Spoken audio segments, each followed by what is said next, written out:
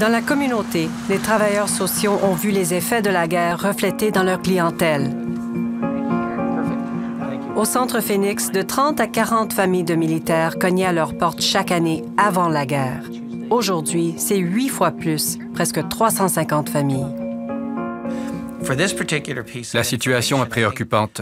Je pense que l'on doit reconnaître qu'il y a un problème de violence conjugale chez les militaires, surtout sur la base de Petawawa.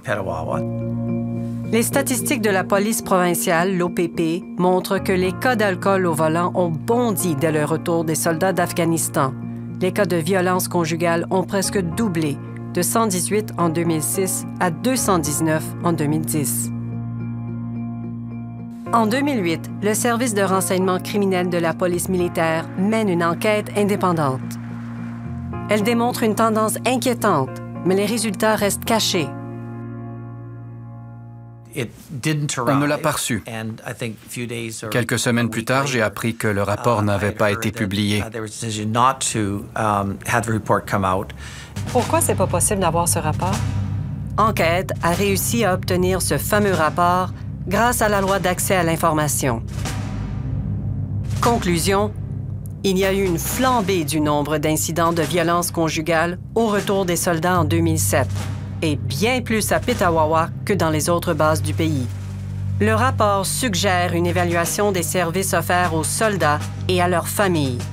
Il est regrettable qu'on n'ait rien fait de ces données. On aurait pu travailler à partir de là.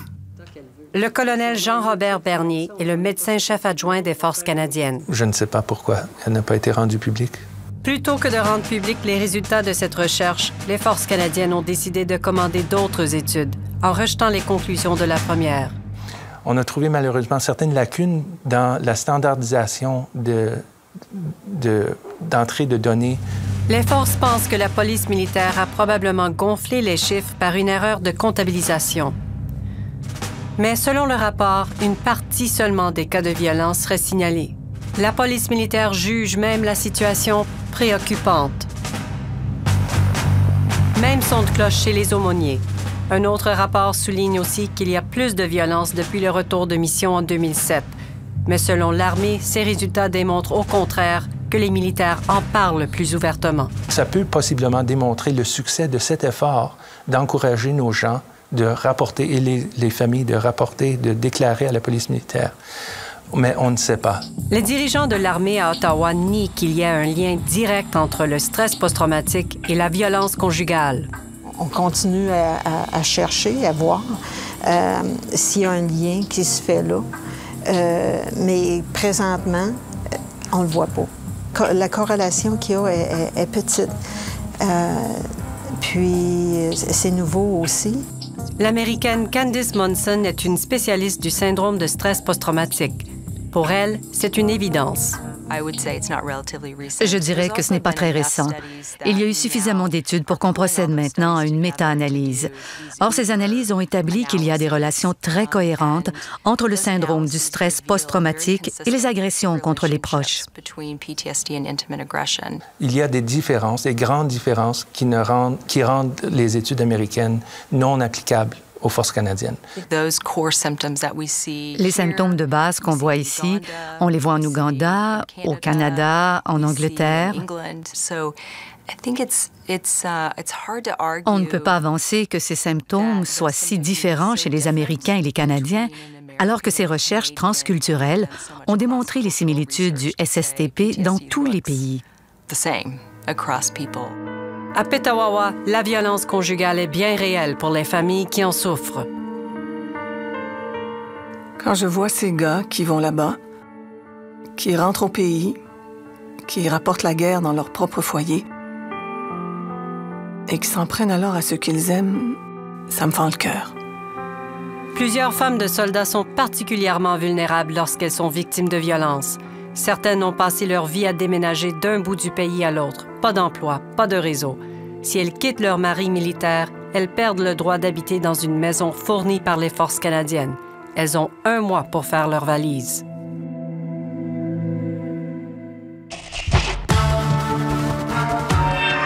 Après la pause, des services insuffisants. Chaque fois que j'ai demandé de l'aide, on m'a dit Vous n'êtes que la conjointe. Il y aura de temps en temps des erreurs humaines ou des lacunes ici ou là, ou des débordements de temps en temps, mais on fournit les ressources autant que possible.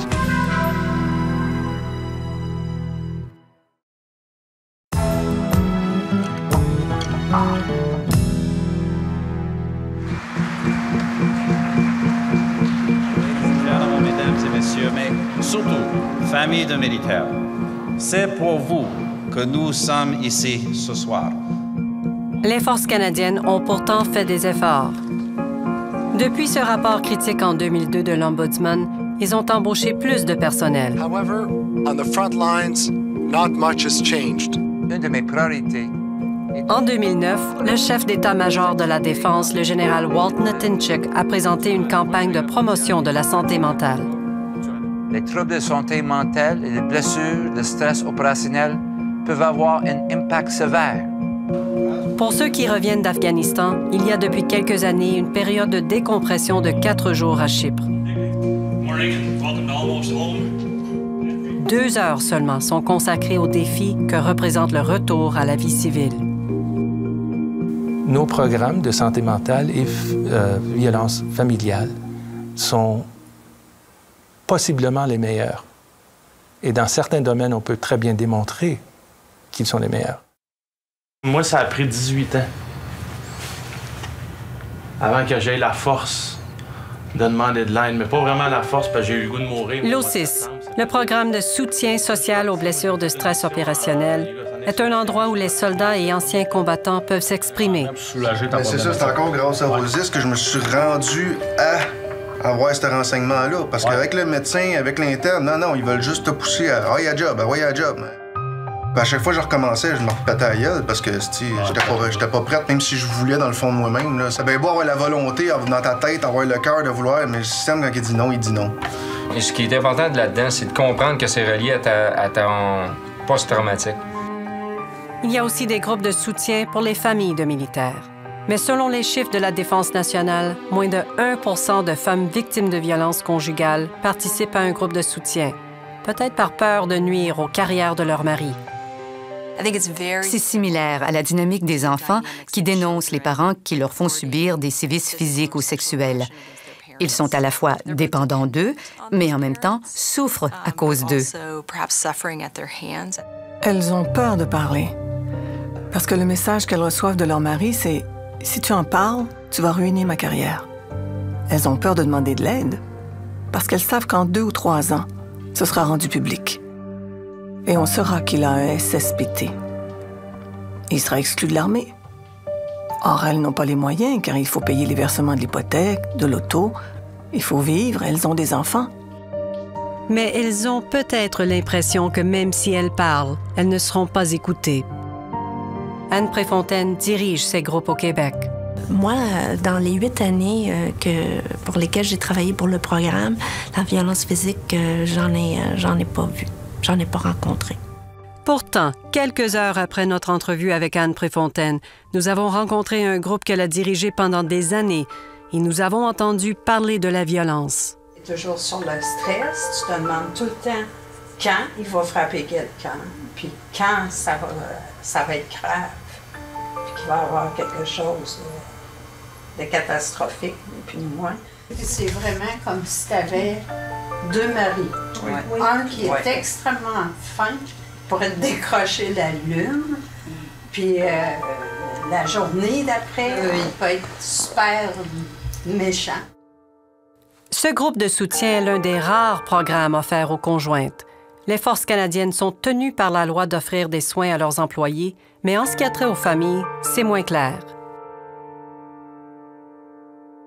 Les forces parlent plutôt d'aide ponctuelle et à court terme. Et encore, ce n'est pas toujours possible. Chaque fois que j'ai demandé de l'aide, on m'a dit Vous n'êtes que la conjointe. Vous ne portez pas l'uniforme, nous n'avons pas l'obligation de vous aider, vous ou vos enfants.